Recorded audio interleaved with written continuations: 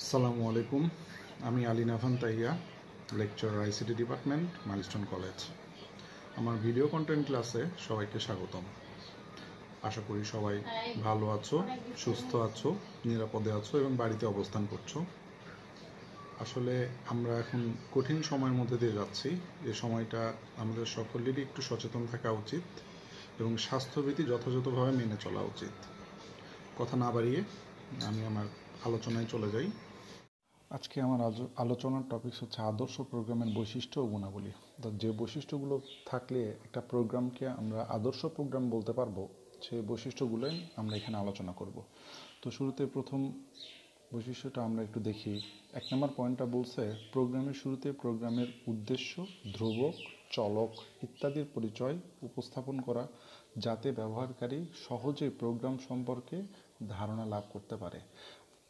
অর্থাৎ এখানে বোঝানো হয়েছে আমি প্রোগ্রামটা কী উদ্দেশ্যে তৈরি করছি, কোন সমস্যা সমাধানের জন্য এবং এখানে আমি চলক হিসাবে কোন রাশিগুলো ব্যবহার করছি, ধ্রুবক হিসাবে কোন রাশিগুলো ব্যবহার করা হয়েছে, তার একটা ক্লিয়ার ধারণা শুরুতে আমাকে দিয়ে দিতে হবে।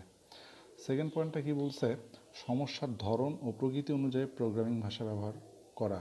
অর্থাৎ আমরা এক একটা ধরনের সমস্যার জন্য এক এক ধরনের প্রোগ্রামিং ভাষা ব্যবহার করব। আমার আগের লেকচারে এটা নিয়ে একটু বলা আছে যে গাণিতিক সমস্যার জন্য একরকম, সাধারণ সমস্যার জন্য একরকম, সেরকম আমার সমস্যাটা কীরকম? আসলে সেই সমস্যার ধরন অনুসারে আমার প্রোগ্রামিং ভাষাটা ব্যবহার করতে হবে। এর পরের পয়েন্টে চলে যাই। এখানে বলছে, চলক হিসাবে সম্পর্কযুক্ত নাম ও অর্থপূর্ণ শব্দ ব্যবহার করা যাতে করে চলক সম্পর্কে খুব সহজেই ধারণা পাওয়া যায়। অর্থাৎ চলক হিসাবে আমি যে রাশিগুলো নেব, সেই রাশিগুলান অবশ্যই নামের সাথে সামঞ্জস্যপূর্ণ হতে হবে। উদাহরণ হিসেবে আমরা যদি একটু দেখি, এখানে বলা আছে যে দুইটি সংখ্যার যোগফলের সমীকরণ আমি যদি ধরি sum is equal to A plus B এখানে এ আর বি হচ্ছে দুইটা সংখ্যা, আর, যে যোগফল হচ্ছে সাম এখানে সাম এ বি প্রত্যেকটি এক একটি আলাদা আলাদা চলক। আর এখানে যোগফল হিসাবে আমরা কি জানি? সাম মানে কি যোগফল না? আমরা এই জন্য যোগফলটাকে সাম ধরে নিয়েছি, যেন সাম দেখলে বুঝতে পারে বা বোঝা যায় যে এটা হচ্ছে যোগফল একটি চলক। পরের পয়েন্টে চলে যাই। পরের পয়েন্টটা বলছে যে প্রোগ্রামের অ্যালগোরিদম, ফ্লোচার্ট, সুডোকোড সহজভাবে উপস্থাপন করা। অর্থাৎ আমি প্রোগ্রামের জন্য যেই অ্যালগোরিদম ব্যবহার করব বা অ্যালগোরিদম অনুসারে প্রোগ্রামটা তৈরি করছি, সেই অ্যালগোরিদম সাথে ফ্লো চার্ট এবং সুডো কোড সহজভাবে উপস্থাপন করা যেন এই এগুলো দেখলেই প্রোগ্রাম সম্পর্কে একটা ক্লিয়ার ধারণা পাওয়া যায়।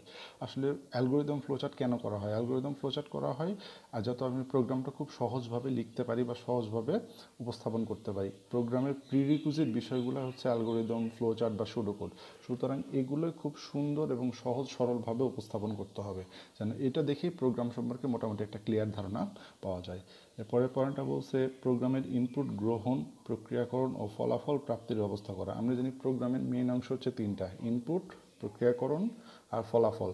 তো আমি প্রোগ্রামে বিভিন্ন মান দিয়ে সেটা প্রসেস করে যেন আমাকে বিভিন্ন রকম ফলাফল দিতে পারে, সেরকম একটা ব্যবস্থা আমাকে রাখতে হবে।